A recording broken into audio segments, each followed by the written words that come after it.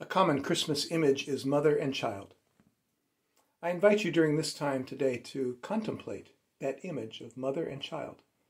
It can be the traditional Christian image of Mary and Jesus, or it can be any mother and any child. It might be your own mother and you, or a sibling. It might be one that has political or social ramifications, such as an immigrant mother and child.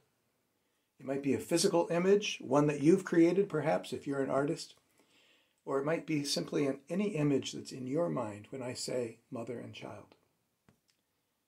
Just sit with that image. Rest in it, with it. Allow whatever emotional, intellectual feelings and thoughts that arise within you to come to the surface. Acknowledge them. And return to that image Read it up and down, left and right. Read through it.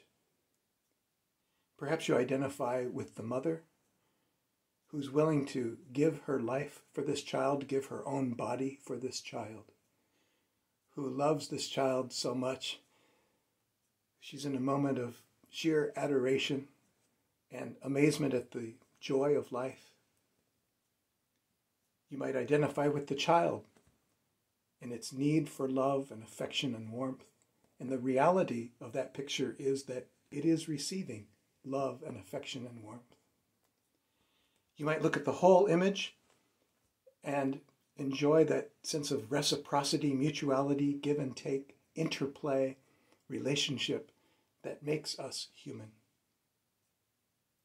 This is spiritual contemplation. I'm Jeffrey, I'm a spiritual companion. My website is interiorspaciousness.com.